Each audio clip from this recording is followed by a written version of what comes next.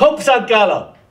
Der Werner Zünd, das Urgestein vom FC St. Gallen, ist zwar in Pension, aber immer noch häufig unterwegs für seinen Verein.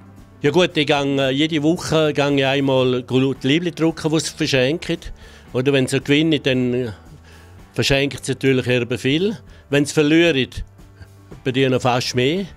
Und darum äh, habe ich natürlich äh, recht Arbeit einmal am Dienstag. Was ich auch mache, ist natürlich, äh, wenn man mich wünscht, Stadionführungen und so. Und so bin ich natürlich verbunden mit dem FC natürlich noch. Und zwischendrin vielleicht noch ein Spiel anschauen als Scout.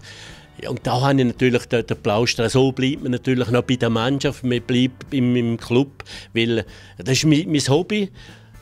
Dann ist der Beruf war und das ist auch wieder mein Hobby, jetzt wo ich pensioniert bin. Und das ist natürlich super, wenn man, da, wenn man noch geschätzt wird, äh, dass man die Arbeit macht.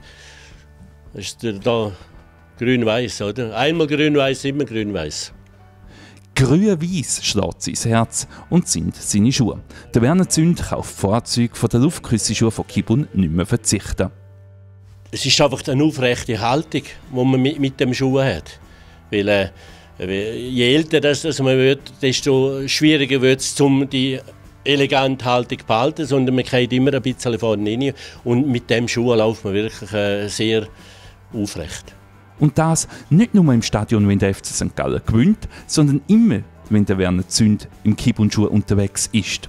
Ich habe keine Probleme mit dem Rücken.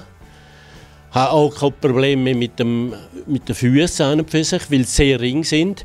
Und äh, ich habe künstliches Knie und dort äh, merke ich es natürlich äh, sehr wenig, äh, dass wirklich äh, etwas Fremdes in meinem Körper ist. Und darum ist für mich der Kibundschuh wirklich der ideale Schuh. Ein Schuh, der einem die Schmerzen nimmt und den Körper fit hält. Egal, ob man ein Fußballer, ein Fan oder ein Funktionär ist. Hopp, St. Gallen!